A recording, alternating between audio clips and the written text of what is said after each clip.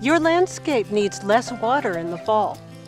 Here's how to dial back your watering, allowing trees and shrubs to adjust. Water trees and shrubs slowly and deeply for longer periods of time, then gradually increase the time between watering, stopping altogether when the rains come. And for trees and lawn, aerating during fall allows for better air water movement in the soil. To learn more, visit bewatersmart.info.